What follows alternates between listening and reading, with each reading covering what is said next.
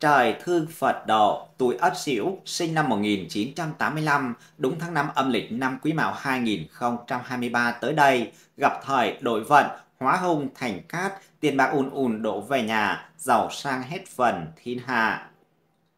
Minh được Tử Vi hoan hỷ chào đón quý anh chị tuổi Ất Sửu đã quay trở lại với chuyên mục Tử Vi 12 con giáp. Kính chúc quý anh chị luôn mạnh khỏe, giàu có và thành công hơn nữa trong cuộc sống của mình và tuổi Ất Sửu sinh năm 1985 được các nhà chiêm tinh học, nhà tử vi học phương Đông đã giải công nghiên cứu dựa trên sự dịch chuyển của các chòm sao, sự chuyển biến của thiên can, địa chi và ngũ hành trong tứ trụ luận mệnh chu kỳ 60 năm của đời người. Đã chỉ rõ đúng tháng 5 âm lịch năm Quý Mão 2023 tới đây, người tuổi Ất Sửu sẽ có được nhiều các tinh trợ mệnh thần tài dẫn bước, quý nhân phù trợ, sẽ có nhiều vận may bất ngờ, tài lộc thăng hoa, có cơ hội trúng số, trúng thưởng là rất lớn, giúp cho anh chị thong dong hưởng phúc khí cho đến cuối cuộc đời.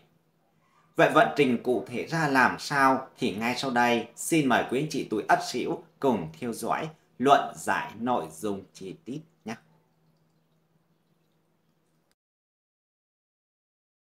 Tiên tri tiết lộ người tuổi Ất Sửu, sinh năm 1985, đúng tháng 5 âm lịch, nghịch thiên đảo vận, bất ngờ được lộc bề trên, vận số cực may, cực đỏ, mưu cầu như ý, sở cầu như nguyện, sự nghiệp lên hương, làm ăn chúng lớn, chúng số cực khủng, tiền bạc ùn ùn đổ về nhà, trả sạch nợ nần, đổi đời đại gia, thong dong tận hưởng phúc khí lớn đến cuối cuộc đời. Quý sáu thân mến, trong cuộc sống này vẫn có rất nhiều người đang phải sống cảnh khổ cực, nghèo đói, nếm đủ mọi khổ ải trần gian, họ làm việc quên ăn quên ngủ. Chỉ mong sao sẽ có một cuộc sống tốt đẹp hơn, cho dù cuộc sống có vùi dập họ như thế nào thì cũng không thể nào ngăn cản được ý chí và lòng quyết tâm của họ, đổi vận, đổi đời thành công. Tử vi học có nói, trời sinh mỗi người mỗi số mình không phải ai sinh ra cũng mang trên mình căn số phú quý, mang trên mình sự giàu có, vinh hoa. Mà để có được thành quả đó, họ đã phải đánh đổi bằng mồ hôi, nước mắt, thậm chí là cả xương máu rơi để có lấy những tháng ngày hạnh phúc, bình yên. Và mới đây nhất, khi xem vận trình tử vi 12 con giáp đúng tháng 5 âm lịch, năm Quý Mão 2023, bất ngờ thấy rằng những người sinh năm 1985 tuổi Ất Sửu là con giáp được nhắc đến duy nhất trong bảng vàng, nhận lộc trời ban. Đúng tháng 5 âm này, song lộc phúc tinh cao chiếu, trói rực cho vận trình của bản mệnh, làm gì cũng thuận lợi, phất lên giàu có, sung sướng, ai ai cũng ngưỡng mộ nhìn theo. Vậy vận trình trong tháng diễn ra như thế nào và phải làm sao để nắm bắt được những cơ may trời ban đó thì ngay sau đây quý vị hãy cùng Minh Đường Tử Vi đi tìm hiểu nội dung chi tiết nhé. Trước hết, xin mời quý vị hãy cùng điểm qua đôi nét tổng quan về vận trình tử vi tháng 5 âm lịch của tuổi Ất Sửu sinh năm 1985. Cùng với đó là những nét tính cách độc đáo, khác biệt, giúp phân biệt tuổi Ất Sửu với những con giáp khác. Theo tử vi, tháng 5 âm lịch là tháng Mậu Ngọ hay tháng Lựu Nguyệt, được tượng trưng bởi loài hoa lựu và hoa lan chuông. Loài hoa biểu trưng cho sự cao quý, hoa lan chuông thể hiện rằng bạn rất ngọt ngào và khá cầu toàn, tỉ mỉ. Tháng Mậu Ngọ, năm Quý Mão, có thiên can là Mậu, địa chi là Ngọ, cầm tinh con ngựa. Ý nghĩa tháng này là cầu nối bước sang mùa hè, khi đất trời đã bắt đầu ngập tràn những ngày nắng. Vì tháng 5 năm 2023 tuổi Ất Sửu âm lịch, nhờ cục diện tam hợp thái tuế che chở, công việc của những chú châu tiến triển thuận lợi, đánh dấu bước chuyển mình mạnh mẽ và dần đi vào ổn định, cá nhân được tập thể ủng hộ, phát huy tài năng, làm việc hăng say, đạt thành tích đáng nể.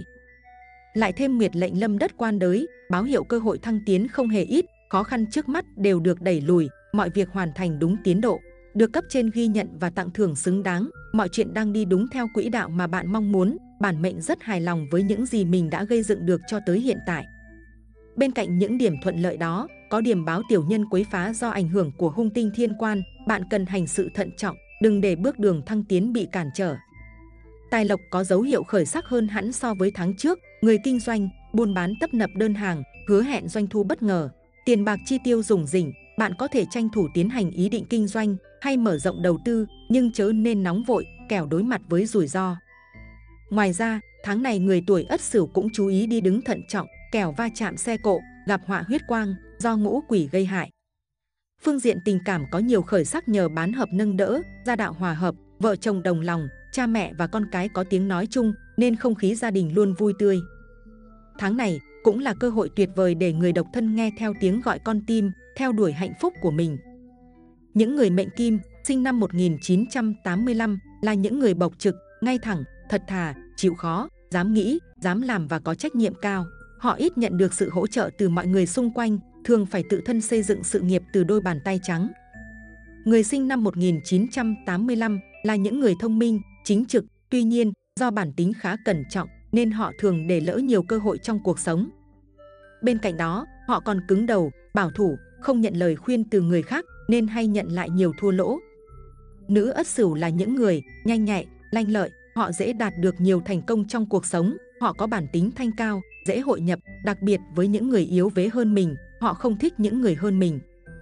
Người tuổi Ất Sửu, sinh năm 1985, thuộc mệnh Hải Trung Kim, họ là những người nhiệt huyết, tính cách vui vẻ, hòa đồng, nhiệt tình. Cuộc sống của họ khá bận rộn với nhiều công việc, họ là người có nhiều mối nhân duyên tốt đẹp, nên không mấy xa lạ khi họ được lòng yêu mến và sự hỗ trợ từ rất nhiều người. Thời tiền vận, họ được cuộc sống đầy đủ, sung sướng, thời trung vận, mọi việc trong cuộc sống đều yên ổn. Từ đường sự nghiệp đến gia đạo, đều không có quá nhiều mối lo, về hậu vận họ được hưởng phúc lộc, an nhàn, sung túc. Người tuổi Ất Sửu có thể gặp phải tai nạn bất ngờ vài lần ngoài ý muốn trong vận mệnh của mình. Tuy nhiên, những tai nạn này đều không quá nghiêm trọng, cần phải cẩn thận trong giao du với những người khác giới. Nữ giới Ất Sửu không nên làm bạn với đàn ông đã có gia đình và ngược lại, nam giới tuổi Ất Sửu cũng nên hạn chế tiếp xúc với phụ nữ đã lập gia đình. Điều này giúp họ tránh xa các rắc rối trở thành người thứ ba trong đường tình duyên. Nếu bạn đã lập gia đình, thì nên kết thúc hoặc giải quyết cho dứt khoát những mối nhân duyên bên lề, tránh việc kéo dài các mối quan hệ bên ngoài khi đã kết hôn, làm dạn nứt tình cảm vợ chồng. Vợ chồng sống với nhau phải biết nhường nhịn, tôn trọng lẫn nhau thì mới lâu bền. Người tuổi Ất Sửu thường kiếm tiền giỏi, tuy nhiên, họ không giỏi trong việc giữ tiền, họ không có chính sách hay kế hoạch chi tiêu cụ thể, nên rất khó tiết kiệm, chắt chiêu được tiền. Vì thế, lời khuyên cho tuổi này là chỉ nên dùng tiền vào những việc cần thiết, chỉ mua sắm những thứ thực sự cần và có giá trị sử dụng để giữ được tiền. Và sau đây sẽ là tử vi chi tiết từng phương diện trong tháng 5 âm lịch cho tuổi Ất Sửu, sinh năm 1985, vận hạn, may mắn và cách hóa giải, giúp bản mệnh đón lành, tránh giữ, gặp hung hóa cát. Về mặt sự nghiệp Xem tử vi tháng 5 năm 2023 của 12 con giáp âm lịch, nhờ được nhiều cát tinh soi chiếu, phương diện sự nghiệp của người tuổi Ất Sửu hứa hẹn có nhiều bước chuyển mình mạnh mẽ và dần đi vào ổn định. Đây sẽ là tháng có nhiều cơ hội mở ra với những chú trâu khi có tam hợp quý nhân xuất hiện. Thời điểm này, bạn phát huy được năng lực, bản lĩnh vững vàng của mình. Cá nhân được tập thể ủng hộ, tài năng được chứng tỏ, tinh thần làm việc hăng say, đạt được thành tích đáng nể. Dù vẫn còn tồn tại không ít thách thức và khó khăn, song bản mệnh không cần quá lo lắng vì quý nhân luôn ở bên trợ giúp, sẽ có chỉ điểm vào lúc thích hợp để bạn đi đúng đường. Thế nhưng, điều đó không có nghĩa bạn hoàn toàn phụ thuộc vào sự giúp đỡ của người khác, hãy mạnh dạn làm theo ý của mình. Tin tưởng vào năng lực của bản thân, kết hợp với những dẫn dắt của quý nhân, bạn sẽ sớm chạm tay vào ánh sáng nơi cuối con đường dẫn tới thành công. Lại thêm nguyệt lệnh lâm đất quan đới báo hiệu, cơ hội thăng tiến không hề ít, khó khăn trước mắt đều được đẩy lùi, mọi việc hoàn thành đúng tiến độ, được cấp trên ghi nhận và tặng thưởng xứng đáng. Mọi chuyện đang đi đúng theo quỹ đạo mà bạn mong muốn, bản mệnh rất hài lòng với những gì mình đã gây dựng được cho tới hiện tại. Bên cạnh những điểm thuận lợi đó, vẫn có những nguy cơ rình rập mà tuổi Ất Sửu không thể chủ quan nếu không muốn công sức bấy lâu thành công dã tràng.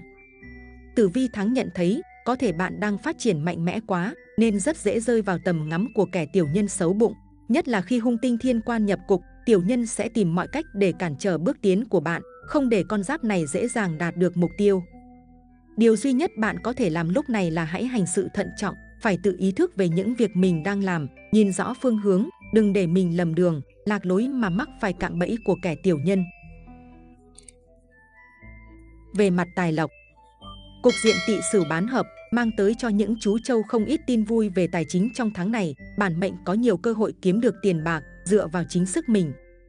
Dù là người làm công ăn lương hay người kinh doanh, buôn bán, cũng đều có thu nhập tăng vọt, việc kinh doanh, buôn bán có dấu hiệu khởi phát, buôn bán tấp nập đơn hàng, lợi nhuận thu về vô cùng khả quan. Thậm chí các kế hoạch đầu tư làm ăn tưởng chừng thất bại trước đó, nay cũng bắt đầu sinh lời, bản mệnh càng có cơ sở để tin tưởng vào quyết định của bản thân. Thời điểm này, bạn có thể tranh thủ tiến hành ý định kinh doanh, hay mở rộng đầu tư để tài khí thêm vượng, nhưng sớm không đồng nghĩa với nóng. Kẻo rủi ro ập tới sẽ rất đáng tiếc, đốt cháy giai đoạn sẽ chỉ khiến bạn dễ vấp ngã ngay từ những bước đi đầu tiên. Điều cần thiết là hãy lên kế hoạch chi tiết, dự trù kinh phí và cả những rủi ro có thể phải đối mặt khi đã có sự chuẩn bị kỹ càng, đảm bảo bạn sẽ nắm chắc phần thắng trong tay. Đương lúc tài lộc rủng rỉnh, dù không phải là người tiêu xài phung phí, nhưng tuổi ất sửu lại mắc bệnh, mê hàng hiệu, dễ xa đà, ném tiền vào những món đồ đắt tiền, dù tiền nào của nấy.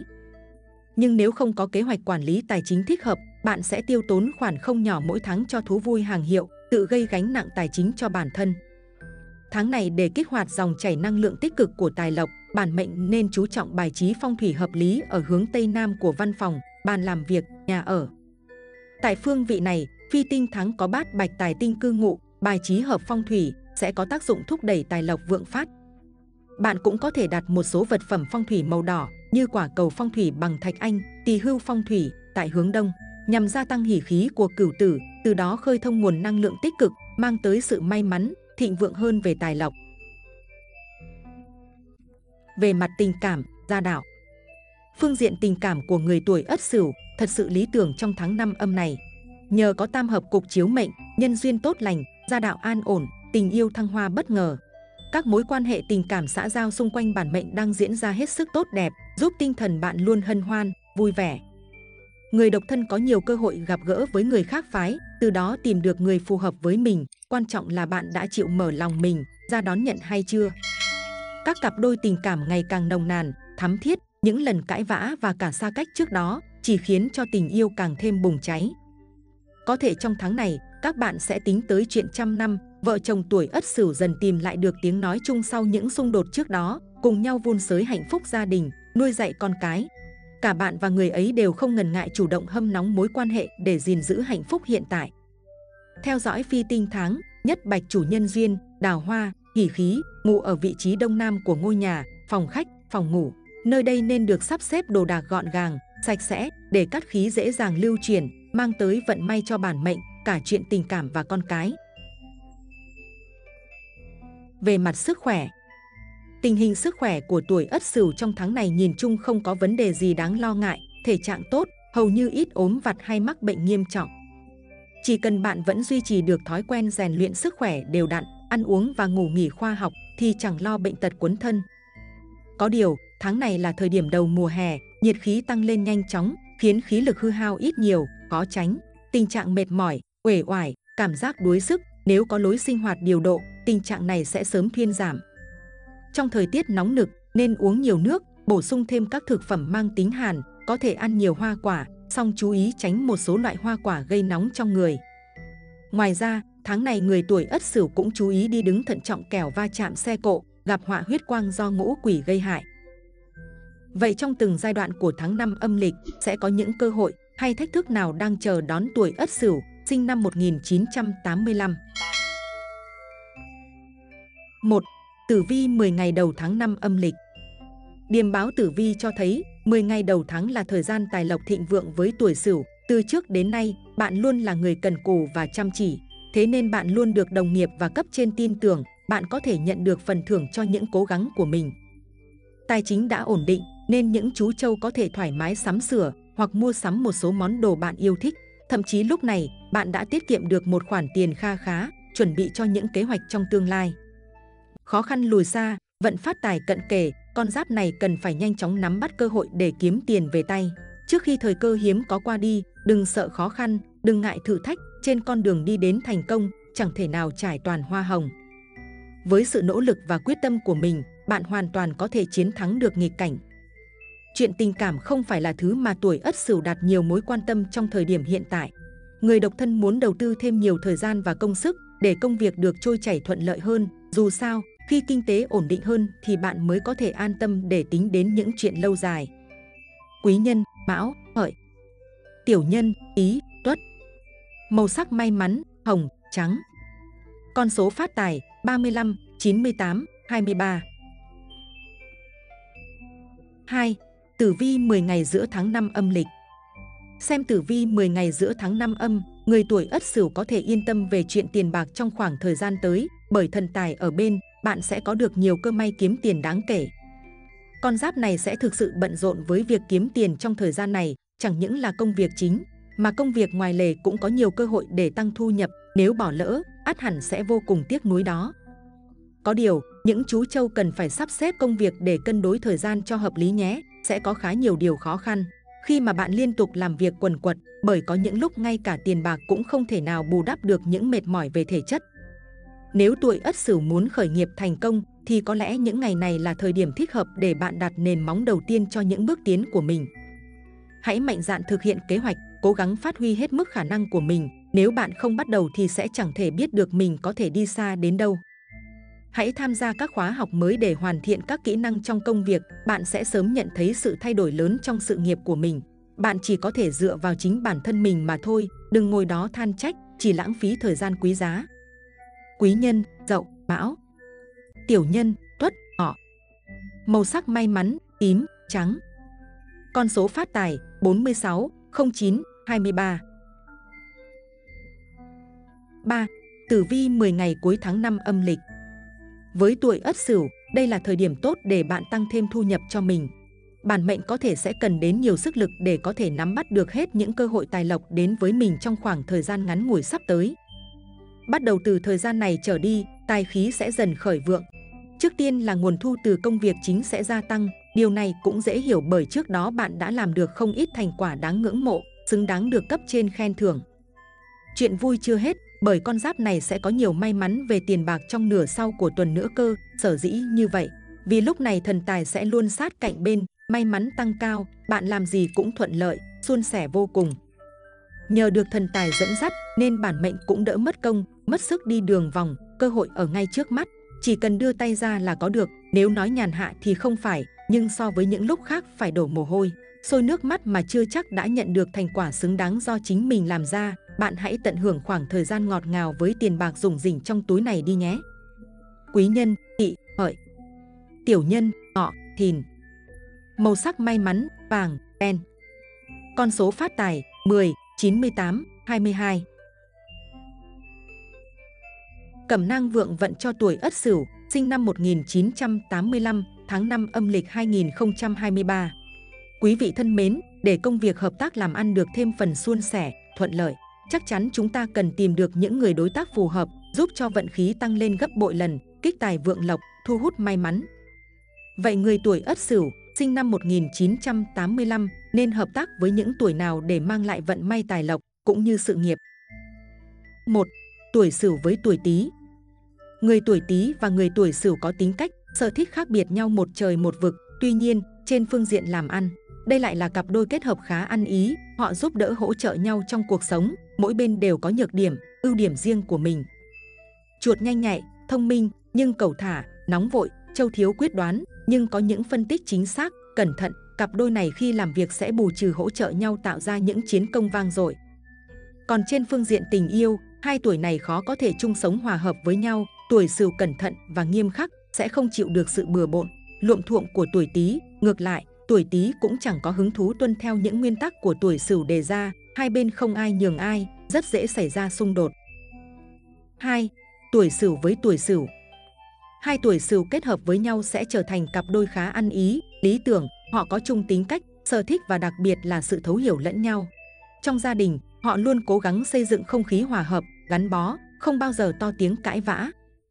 Người tuổi Sửu không thích có mặt ở những nơi ồn ào, đông người, họ thường tìm đến một không gian riêng tư, yên bình.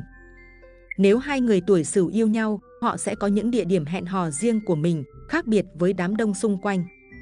Trong công việc, hai người tuổi Sửu sẽ có cùng chung lý tưởng, mục tiêu, họ cùng nhau cố gắng phấn đấu trong cuộc sống, là nguồn động lực giúp đỡ, tương trợ lẫn nhau. Tình cảm bạn bè khác giới của hai người tuổi Sửu rất dễ gắn bó, sâu đậm, phát triển thành tình yêu. 3. Tuổi Sửu với tuổi Dần tuổi dần mạnh mẽ, thích cuộc sống cao sang, uy quyền, tuổi châu hiền lành, thẳng thắn, luôn muốn hướng tới cuộc sống bình yên. Có thể nói rằng đây là cặp đôi đối lập nhau nhất trong 12 con giáp, một lời khuyên chân thành là người tuổi sửu và tuổi dần không nên kết duyên với nhau. Nhưng trên phương diện công việc, hai tuổi này có thể hợp tác làm ăn, họ cùng nhau trau dồi kinh nghiệm, kiến thức, cung cấp cho nhau những thông tin bổ ích. Châu sẽ học được sự quyết đoán, sắc sảo của hổ, ngược lại, hổ sẽ học được sự cẩn thận, chăm chỉ của Châu. 4. Tuổi Sửu với tuổi Mão. Người tuổi Mão và tuổi Sửu đều có đặc điểm chung trong tính cách, đó là sống nội tâm, giàu tình cảm, ít giao tiếp và thích những nơi yên tĩnh. Khi trở thành một cặp đôi, họ sẽ rất hợp nhau và không bao giờ cảm thấy nhàm chán trong mối quan hệ này. Họ có thể quấn quýt với nhau cả ngày, hẹn hò ở những địa điểm thú vị, ít người biết đến. Đôi khi, mọi người xung quanh cảm thấy cuộc sống của cặp đôi mão sửu thật buồn chán, tẻ nhạt, thế nhưng hai tuổi này luôn cảm thấy hạnh phúc, yêu thương và cần nhau trong cuộc sống. Khi hợp tác làm ăn với nhau, tuổi mão và sửu luôn tôn trọng, tin tưởng và đặc biệt là sẵn sàng giúp đỡ nhau vượt qua khó khăn.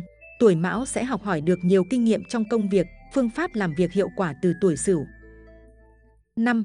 Tuổi sửu với tuổi thìn Tuổi thìn mạnh mẽ, quyết liệt, có phần đối lập với tính cách nhút nhát của tuổi sửu. Trên phương diện tình yêu, họ có thể trở thành một cặp nếu như có sự thấu hiểu, yêu thương nhau. Tuổi thìn mơ mộng, lãng mạn, nhưng tuổi sửu lại thẳng thắn, hiện thực. Đôi khi mối quan hệ này xảy ra những mâu thuẫn, xung đột khá gai gắt. Nếu hợp tác làm ăn, tuổi thìn và tuổi sửu sẽ là những đối tác khá ăn ý lâu dài. Họ có chung quan điểm và mục tiêu phấn đấu, chắc chắn sẽ có chung chí hướng, cùng nhau phấn đấu để đạt được mục tiêu. 6. Tuổi Sửu với tuổi Tỵ. Tuổi Tỵ và Sửu có khá nhiều điểm tương đồng trong sở thích và tính cách, bởi vậy, họ có suy nghĩ và hành động khá ăn ý với nhau. Hai tuổi này khi kết hôn, họ sẽ cùng nhau xây dựng hôn nhân gia đình hạnh phúc, yêu thương nhau, dù bên ngoài không biểu hiện tình cảm, nhưng thực ra từ sâu thẳm trái tim, họ luôn dành cho nhau những tình cảm mặn nồng, sâu sắc nhất. Trên phương diện công việc, cặp đôi này cũng khá ăn ý với nhau, rắn sẽ dạy cho châu sử khéo léo, tự tin trong cuộc sống. Ngược lại, châu sẽ giúp đỡ, tiếp thêm sức mạnh cho rắn trong những lúc khó khăn, họ sẽ cùng nhau vượt qua những khó khăn, thử thách một cách dễ dàng. 7.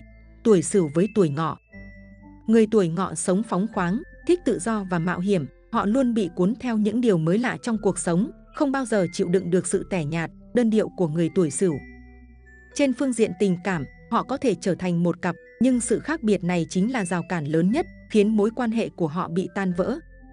Nếu như thực sự nghiêm túc muốn kết duyên với nhau, thì hai tuổi này cần phải lắng nghe, chia sẻ và nhường nhịn đối phương nhiều hơn. Tuổi ngọ nếu như hợp tác làm ăn với người tuổi sửu sẽ gặp được nhiều may mắn, thuận lợi, bởi lẽ người tuổi ngọ luôn bị cuốn hút bởi những thứ mới mẻ hay thay đổi, không kiên định với mục tiêu của mình. Còn tuổi sửu sẽ giúp ngọ khắc phục được sự thiếu kiên nhẫn này. 8. Tuổi sửu với tuổi mùi dù là trên phương diện nào, công việc hay tình yêu, tuổi mùi và tuổi sửu đều khó có thể tìm được tiếng nói chung, họ thường xuyên xảy ra mâu thuẫn, không ai chịu nhường ai. Khi ở cạnh nhau, hai tuổi này thường bộc lộ những khuyết điểm, thiếu sót của mình, bởi vậy dường như họ luôn cảm thấy khó chịu khi tiếp xúc, gặp gỡ nhau. Nếu tuổi mùi và tuổi sửu thực sự yêu thương, tin tưởng lẫn nhau, họ có thể trở thành một cặp. Tuy nhiên, trong tình yêu, nếu như không đặt mình vào vị trí của nhau, thấu hiểu, tha thứ và nhường nhịn, thì cuộc tình dù đẹp đến đâu vẫn có thể dẫn đến chia ly. 9. Tuổi Sửu với tuổi Thân Tuổi Thân và Sửu tuy có nhiều sự khác biệt về tính cách, nhưng họ hoàn toàn có thể lắng nghe, chia sẻ những suy nghĩ tâm tư của mình cho nhau. Trong cuộc giao tiếp, bạn sẽ ít khi thấy khỉ và châu đấu khẩu, ngược lại, họ vui vẻ hòa hợp và cảm nhận được sự lôi cuốn, hấp dẫn trong mối quan hệ. Tuy nhiên, trên phương diện công việc, họ lại là hai người có chí hướng hoàn toàn trái ngược nhau. Con đường tuổi thân lựa chọn tách biệt với tuổi sửu, không cùng quan điểm, mục tiêu hướng tới, điều đó khiến cho thân và sửu rất khó có thể trở thành những đối tác làm ăn lâu dài. 10. Tuổi sửu với tuổi dậu Có thể nói, sự kết hợp của người tuổi dậu và người tuổi sửu đem lại sự hoàn hảo cả về phương diện công việc, lẫn tình yêu, sự tương đồng trong tính cách và quan điểm sống chính là nền móng đầu tiên giúp họ phát triển mối quan hệ. Tuổi dậu đem đến những may mắn, niềm vui cho tuổi sửu, càng ngày họ sẽ trở nên càng gắn bó, yêu thương lẫn nhau. Cặp đôi này luôn thành thật mọi thứ, không giống nhau bất kỳ điều gì, sự trung thủy tin tưởng lẫn nhau là sợi dây gắn bó họ trong suốt cuộc đời. Trong tình yêu, khó có thể tránh khỏi mâu thuẫn, cãi vã, nhưng điều tuyệt vời là cặp đôi này luôn lắng nghe, nhường nhịn lẫn nhau, bởi họ hiểu rằng tình yêu đích thực có thể vượt qua mọi khó khăn, thử thách. Nếu như tuổi sửu luôn nhút nhát, thiếu tự tin khi giao tiếp, thì tuổi dậu sẽ là vị cứu tinh, giúp sửu khắc phục nhược điểm đó. 11. Tuổi sửu với tuổi tuất Mối quan hệ giữa tuổi tuất và tuổi sửu có thể tiến triển tốt đẹp, gắn bó lâu dài, dựa trên sự trung thành, tin cậy lẫn nhau. Cặp đôi trời sinh này luôn tìm được tiếng nói chung, sự thấu hiểu sâu sắc, bởi vậy họ thường trở thành những tri kỷ của nhau. Sẽ càng tuyệt vời hơn nếu tuổi tuất và tuổi sửu trở thành một cặp đôi trong tình yêu, khi kết hôn, căn nhà của họ luôn gọn gàng, sạch sẽ, bao trùm lên, đó là không gian yên tĩnh.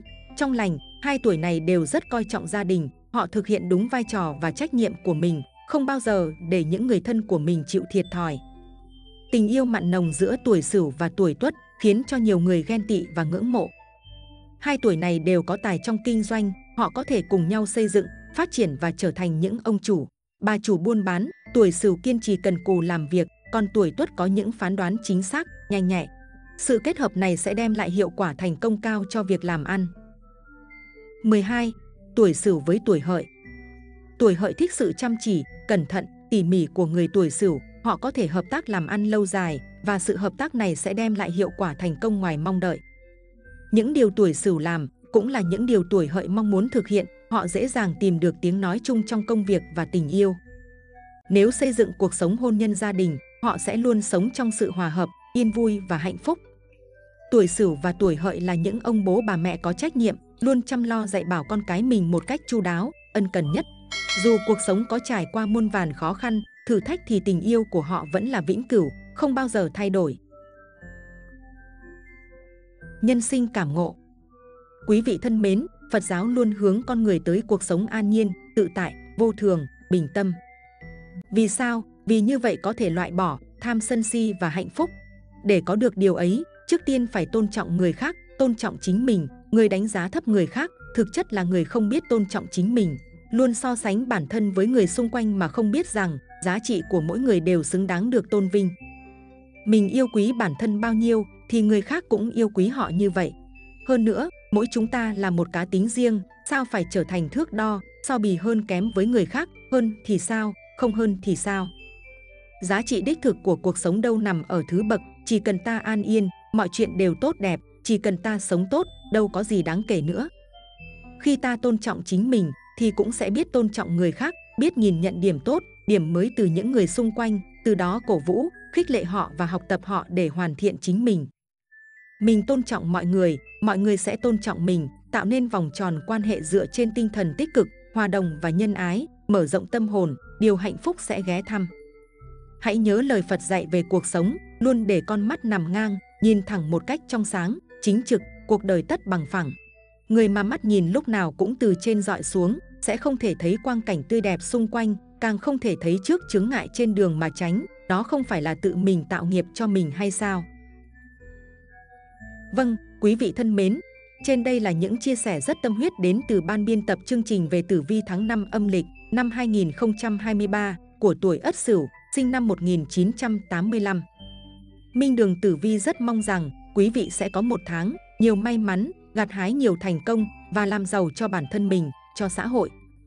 Minh Đường Tử Vi vô cùng cảm ơn quý vị đã quan tâm và theo dõi chi tiết hết video. Mọi ý kiến đóng góp và thông tin cần được tư vấn hỗ trợ, vui lòng comment ở bên dưới và bình luận. Ban biên tập chương trình sẽ tư vấn và giải đáp miễn phí trong thời gian sớm nhất. Mến chúc quý vị luôn mạnh khỏe, hạnh phúc, giàu có và thành công hơn nữa trong cuộc sống của mình. Chương trình đến đây là hết. Xin chào và hẹn gặp lại trong những video tiếp theo.